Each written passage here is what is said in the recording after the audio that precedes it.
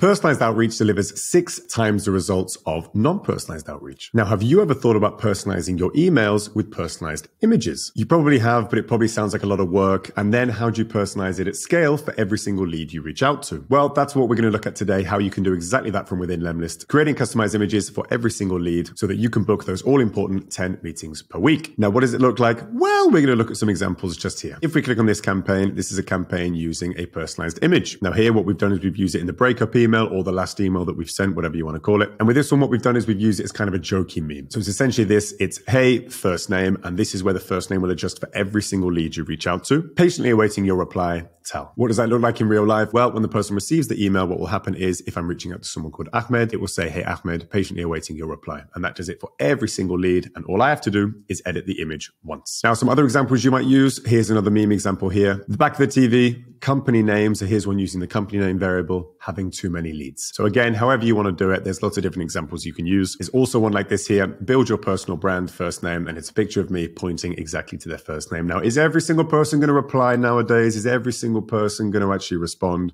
No. But does it make you seem a bit more creative? Does it make you a little bit more real? It does. Why is that important? Well, people are more likely to reply to people that they identify with, people that make them laugh maybe, and then you get your reply. So how do you create images like this yourself? Let's take a look here. All you need to do is go over to templates and then click on images. Nice and easy so far. And to make this one, let's just do an easy example. What you can do is you can take this image, you need to import the image and you just need to add a few bits of text. So what we do here is we go on create new template. Then we click on add element. We select image and then here we can increase the size of the image, upload the image here. We go and find the image that we want and we click on it here. What does that do? We have our image imported already. There you go. Add it there so it fits nicely. Then we need to add a little bit of text. So let's add some meme text in this example, but you can add also image variables. You can add logos if you want to add a company's logo. If you want to add a particular photo, you can do that as well. When you import leads with Lemlist and you scrape them from LinkedIn, what you can do is you also scrape the photo URL as well. So if you put photo in this particular section and you have imported using Lemlist Chrome extension, you can in bulk use the custom variable photo and it will adjust to every single lead within this image section. For this particular example, though, you can have a play around with yourself. Let's do meme text. And there we go. We've got the meme text. So for this, we want to add back of the TV, put that one this side, add another element, and then we want to have this as the answer here, having too many leads. And then we have one more, and this is the magic one. So here's where we add the custom variable, whatever we like. Now, in this case, what we're going to do is we're going to have company name, for example, and we can put that one just over here. Let's make it all a little bit smaller so it all looks nice and neat. There you go. Luckily, it's nice and easy to edit. And we make sure that we add it a name. If we click on settings here, we can go over here and we can rename it. Let's say custom image test, and then we should be good to click down here and save. Click on save, image template saved. Yippee. Back to template so that we can test custom image test. There you go, completed. Didn't take long at all. So pretty easy, wasn't it? Didn't need a degree in Figma or anything like that. Now, what does it look like when you insert it into a campaign? Let's go and create a new campaign. Lead list info over here. Let's import nice and easy with a CSV. Continue, make sure everything's mapped very nicely.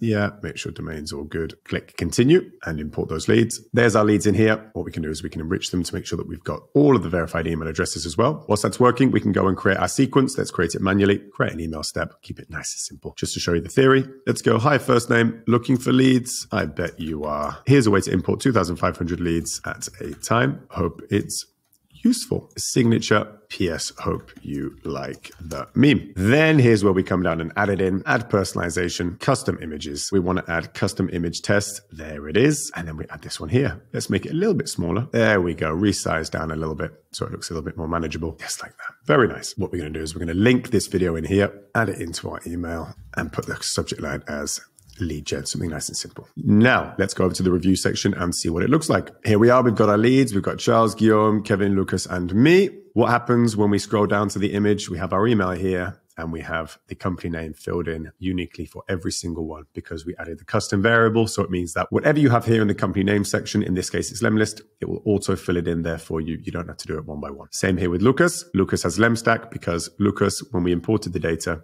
we had it as Lemstack. Now, just to show you what I mean by that, when I say imported the data, I imported it via a CSV. It works exactly the same if you import using Lemlist's internal database. It will scrape that data for you. It will find the data for company name. Here, though, in this case, I imported it with a CSV. Company name is written there for every single person. You can see it lines up to the, each different person. Tal, company name Lemlist, Kevin, Lemwarm, Lucas here has Lemstack. And that's why when you come back here, the company name information here is Lemstack. And that's what we have in the custom image. And that's it. There you go. That's how you can very simply personalize an image. Of course, there's a million different ways that you can play around with it. You can use different variables. You can use different data points. The end goal is to make yourself look as human as possible. Maybe you want to get creative and make them laugh, but ultimately you're trying to test what works. You can A-B test what works as well to see what gets you the most positive replies. Go ahead and check out all the other videos on this channel for different tips to improve your prospecting, improve your campaigns, improve your copywriting. If you want to try Lemlist for free and create your own custom images just like this, click the link in the description down below.